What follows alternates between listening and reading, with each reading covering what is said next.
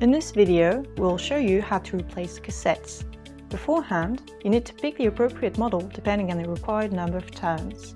For this procedure you'll need a size 10 wrench, a large flat blade screwdriver, a crosshead screwdriver, and two hex keys.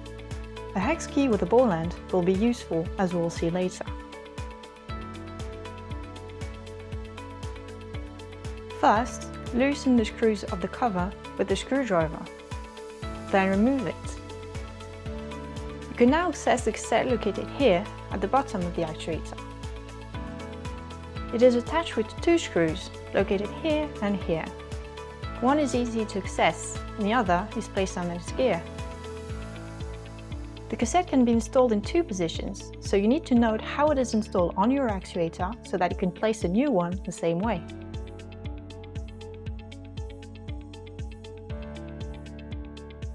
First, remove the first screw with the hex key. Be very careful not to drop the screw inside the actuator as it might damage the motor. Now that the first screw is out, you can go remove the second screw under the gear.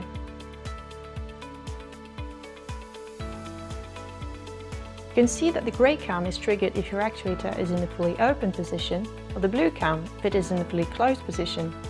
This will be your reference point for the end of the procedure. Now you can go remove the second screw.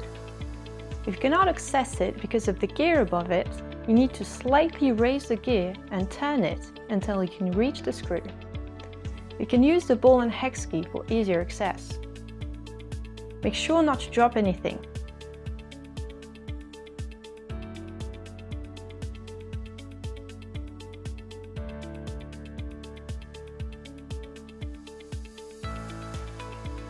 Leave the screw on the cassette without removing it and raise the gear so that you can remove the cassette and the screw together. This way you can be sure not to drop anything inside the actuator.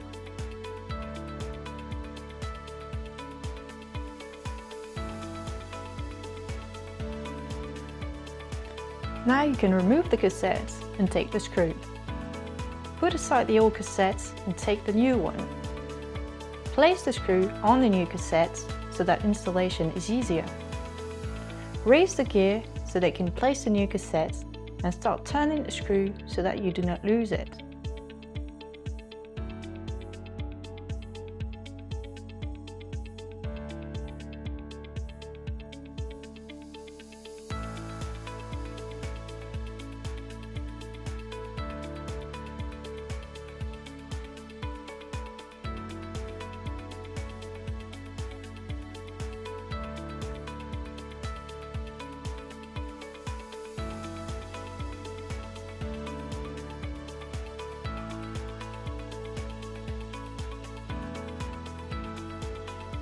Once the screw is partially fixed, turn this gear on the cassette to engage it with the mechanical part of the actuator.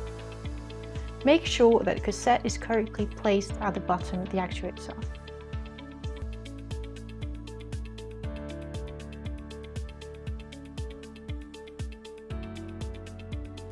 Once that is done, place the other screw and fully tighten it.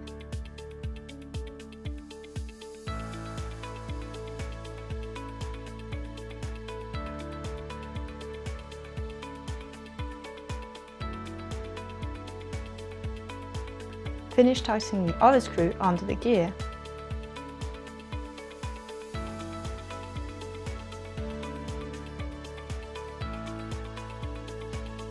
Lastly, you need to electrically move the actuator to the same position as when you began the procedure.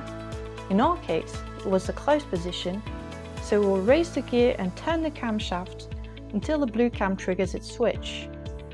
Once that is done and the gear is released, the actuator is in the same position as in the beginning of the procedure.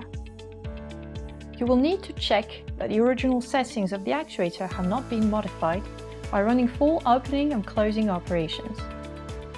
If the settings are incorrect, perform the calibration procedure. Once the settings are correct, place back the cover while making sure that the seal is correctly placed and has not been damaged. In case of a doubt, you need to change the seal since it is crucial to maintain the IP68 rating. Once the cover is placed back, Tighten the four screws and the procedure is now finished.